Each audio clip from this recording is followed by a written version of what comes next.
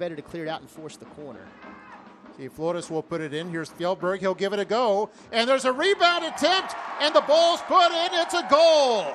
Toros on top early after a Real Monarchs miscue. What was that we were saying about the ball bouncing around in front of the net and the Toros finding a way to put it in? There's a good look right there. Does he do? Take a look at this. One quick little squib, and he is tickling the back of that net. Yeah, took advantage of that one. And uh, you have to feel a little bit for him. Uh,